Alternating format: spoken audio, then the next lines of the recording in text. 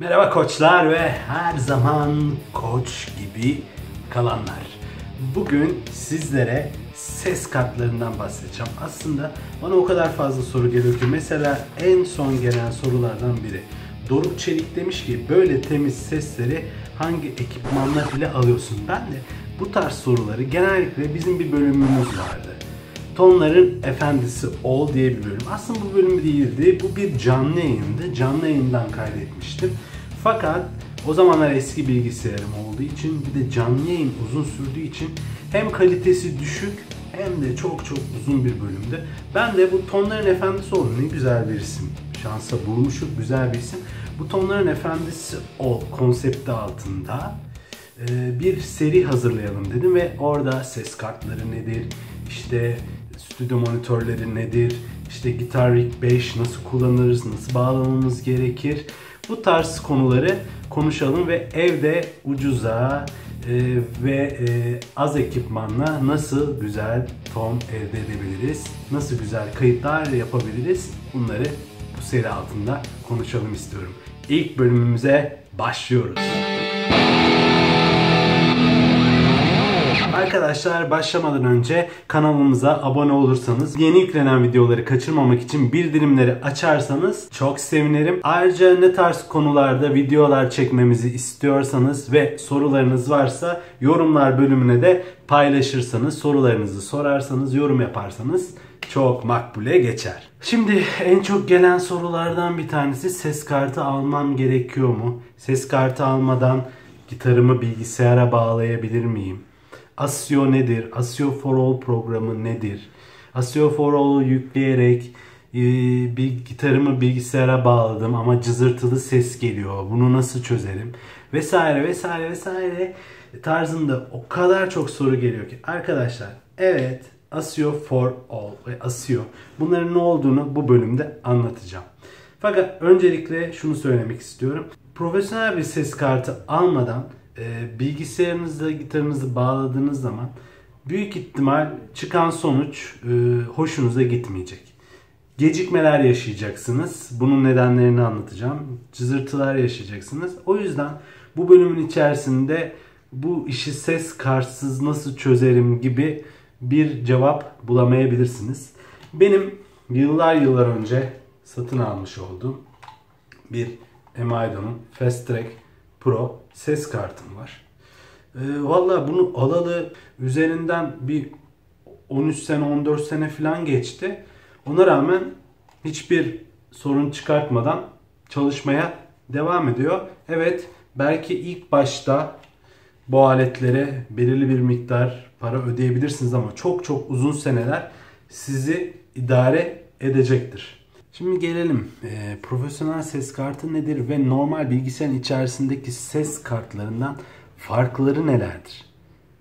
Şu an bilgisayarımızda çoğunlukla onboard olan üzerinde onboard e, yer alan ses kartlarını kullanıyoruz. E, bu ses kartları bilgisayarın ürettiği sesleri e, dışarıya verme ve mikrofon line in girişlerinden e, sizin ona gönderdiğiniz sesleri e, kaydetme veya işte karşı tarafa gönderme gibi işlevleri var, yetenekleri var. Fakat şimdi sizin gönderdiğiniz bu sesin üzerinde oynama yapma işine geldiği anda e, ve aynı anda e, mesela bir efekt kattınız sesinize ve onu aynı anda dışarı verme konusunda gecikme sorunları yaşıyor bu ses kartları. Bu konularda yetersizler. E, şimdi nasıl oyun oynamak için ekran kartlarına ihtiyaç duyuyoruz? O sırada bilgisayar anında sizin tepkilerinize cevap verip ekrana o görüntüleri getirebilmesi için ve FPS oluşmaması için görüntüyü belli çiplerle işliyor. Hiç gecikme olmadan karşınızda sunuyor. E şimdi ses için de aynı şey geçerli. Sese bir sürü efekt verdiniz. Bir sürü e, drive verdiniz, işte delay verdiniz ve e, onların aynı anda e, işlenip size duyurulabilmesi için bir çipin bu iş üzerine kafa yorması ve gecikme olmadan size bunu iletmesi gerekiyor. Bunu da en güzel ve en kaliteli bir şekilde yapabilmemiz için tıpkı, tıpkı ekran kartı satın aldığımız gibi profesyonel ses kartı satın almamız gerekiyor. Peki bu ses kartlarının içerisinde ne var? Bu ses kartları ASIO denen bir protokolü destekliyor. Peki bu ASIO'yu kim yapmış? Cubase e, yapan Stimberg firması var bir tane Alman. E, bunların oluşturduğu ve e, kabul ettirilmiş olduğu bir protokol bu. Bu peki bu protokol ne işe yarıyor? Bu protokol ses kartları ve müzik yazılımları bilgisayarlar arasında bir arayüz oluşturuyor. Sesin kalitesini arttırırken gecikme oranlarını minimuma indiriyor. Yani içerisine çok kaliteli şekilde efektleri eklerken gecikme olmadan duyabiliyorsunuz sesi. Peki bu ASIO'nun e, açılımı nedir? Audio Stream Input Output. Yani kısaca sesi versen de çıkarsan da onu en kaliteli anında sana ileteceğim şeklinde bir açılımı var. Peki ASIO for All nedir? ASIO'nun bir emülatörü aslında. Yani ASIO driver'lı bir ses kartımız yok ama e, onu yazılımsal olarak taklit ediyoruz gibi düşünün.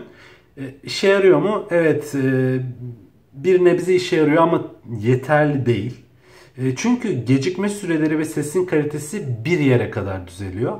E, ucuz dönüştürücü e, kablolarla gitarımızı bilgisayarımıza bağlıyoruz.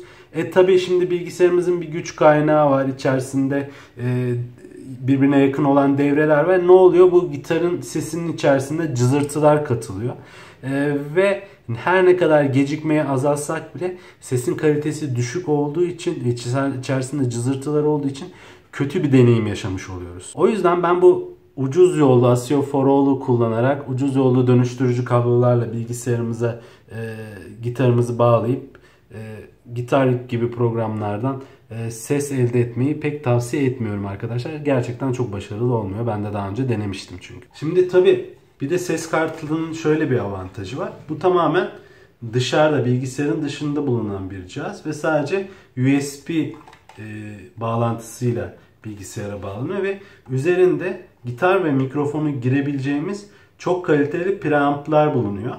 Ee, ve e, gitarın sesini doğru bir şekilde ve cızırtısız bilgisayara iletmemizi sağlıyor bu preamplar ve girişler. Tabii bunun haricinde bir de çıkışları da unutmamak lazım en kaliteli bir şekilde kulaklık çıkışı ve eğer stüdyo monitörlerimiz veya müzik setimiz varsa onlara en kaliteli bir şekilde çıkış verebileceğimiz e, yerler mevcut. Ayrıca eğer bir kondansör mikrofonunuz varsa bu ses kartalarının içerisinde kondansör mikrofonları çalıştırabilmemiz için onlara elektrik yollayan 48 volt e, güç yollayan mekanizmalar var arkadaşlar. Bu elektriği e, mikrofona yollamadan kondansör mikrofonlar çalışmaz. Ses kartlarının e, işte giriş ve çıkışlardaki bu tür artıları da var ve tabii ki bütün ve giriş bütün giriş çıkışlarının ses potları ve dengeleri üzerinde. Şimdi e, tabii benim ses kartımı çok soruyor arkadaşlar. Abi sen ne kullanıyorsan ben de onun aynısını alacağım falan diyorsunuz ama ne yazık ki artık bu arkadaşı alamazsınız. Çünkü dediğim gibi 14 sene önce falan almıştım ben bunu. Artık üretimden kalktı. Hatta bu Fast Track Pro serisini Emao'da Avit diye bir firmaya sattı arkadaşlar.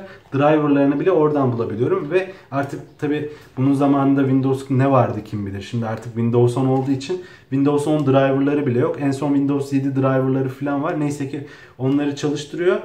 Eğer siz de bir ses kartı almak istiyorsanız benim kullandığımı tavsiye etmiyorum. Şu an zaten bulmanız belki ikinci el bulabilirsiniz ama ikinci el bulsanız bile driverları olmadığı için çok tavsiye etmiyorum. Fakat e, bu ses kartı üzerinden size bazı tavsiyelerde bulunabilirim. Öncelikle e, şimdi e, ses kartı alırken bazı promosyonlar oluyor.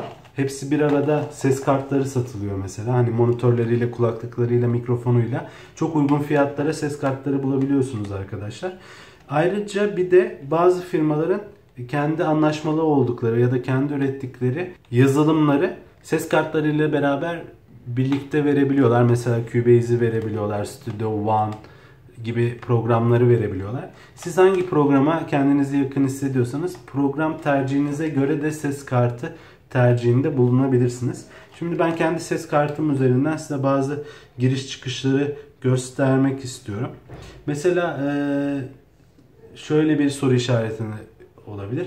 iki girişli mi tek girişli mi bir ses kartı alayım diye sorabilirsiniz. Çünkü tek girişli olan ses kartları iki girişli olan ses kartlara göre çok daha uygun fiyatta oluyor. Fakat benim tercihim iki girişli olan bir ses kartı.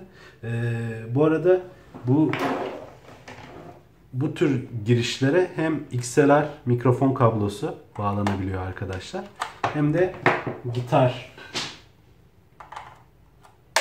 jack'ı bağlanabiliyor. İkisi için de uygun girişler. Bu ne biçim giriş ben hiç böyle giriş görmedim demeyin diye söylüyorum. Ee, şimdi neden iki tane ol, olmalı bence? Mesela bir prosesörünüz var e, ve e, stereo yollayabiliyorsunuz mesela ses kartınıza. Ben öyle yapmıştım mesela. Prosesöründen stereo çıkış left right olarak kayıt alabiliyordum. Ya da e, aynı anda gitarınız, akustik gitarınız bir yandan da e, vokal mikrofonunu ayrı ayrı kanallarda kaydedebilirsiniz. E, ama tek kanal olsaydı bu tür işlere hiç bulaşamazdınız. O yüzden bence en az iki tane girişi olan çift kanallı stereo kaydedebileceğiniz veya işte gitarla e, mikrofon aynı anda kaydedebileceğiniz iki enstrümanı aynı anda kaydedebileceğiniz ses kartı tercih etmenizi öneririm. Şimdi benim ses kartımın üzerinde bulunan ve genellikle bütün ses kartlarının üzerinde bulunan bazı düğmelerden bahsetmek istiyorum. Mesela girişin e, e ses yüksekliğini ayarladığımız potlar. Bu da ikinci girişin ses yüksekliğini ayarladığımız pot. E, eğer gitarımızın veya işte bağladığımız enstrümanın sesi çok yüksek bir şekilde, gainli bir şekilde bu arkadaşa ulaşıyorsa pet denen bir tuş var. Ona bastığımızda o level'ı azaltıyor. Üzerinde de benim e, ses kartında e, enstrüman mı yoksa line girişimi e, bağladığımızı seçebileceğimiz bir tuş var. Böylelikle sesin kalitesini de arttırabiliyoruz. Ben de bilgisayarın ürettiği sesle direkt ses kartımıza bağladığımız enstrümanın arasında mix yapabileceğimiz bir podumuz var. Yani bunu sol tarafa bunu sol tarafa çevirirsem gitarımın clean sesi duyuluyor. Sağ tarafa çevirirsem gitar rig bağlıysa gitar rigde üretilmiş ses duyuluyor. E, stereo ve mono gönderip göndermeyeceğim konusunda seçim yapabiliyorum. E, ses kartının genel ana level e, podu. E, tamamen sesi buradan açıp kapatabiliyorum. Bu da aynı şekilde e, mikro e, şey, kulaklığın sesini açıp kapattığım kısım. Arkada şimdi e, birçoğunda oluyor. E, mesela MIDI enstrümanım var. E, USB değil mesela eski MIDI kablolarıyla bağlı. Direkt bu ses kartına MIDI girişlerine e, o enstrümanı bağlayabiliyorum ve bu ses kartının MIDI ayarlarından bilgisayara o e, klavyeyi direkt yollayabiliyorum. Eski bir mesela klavyeniz vardır MIDI bağlantısı olan. Onu bu arkadaşa bağlayıp direkt USB üzerinden bilgisayara komutlarını yollayabilirim. USB girişi zaten. Eğer istersem USB kullanmıyorsam dışarıda kullanacaksam e, bu aleti işte potlarını kullanacaksam bir mikser gibi onu 9 voltluk bir adaptörle 9 voltluk bir adaptörle bu arkadaşı çalıştırabiliyorum. Burada Phantom Power mikrofonun e, açıp kapama e, mikrofona kondansör mikrofonun Phantom Power'ını açıp kapama tuşu. Burada dijital giriş ve çıkışlarım var. Ayrıca müzik setlerine yollayabileceğim giriş çıkışlar e, ve TRS output dediği referans monitörlerine yollayacağım ki benim de kullandığım çıkışlar. Bu ses kartını ilk aldığım zamanlarda profesyonel referans monitörlerim, stüdyo monitörlerim yoktu. Bilgisayar için yapılmış 5 artı 1 ses sistemi vardı. Ve o ses sisteminin üzerinde analog giriş ve çıkışlarım vardı. Buradan bağlıyordum. Analog olarak bağlıyordum.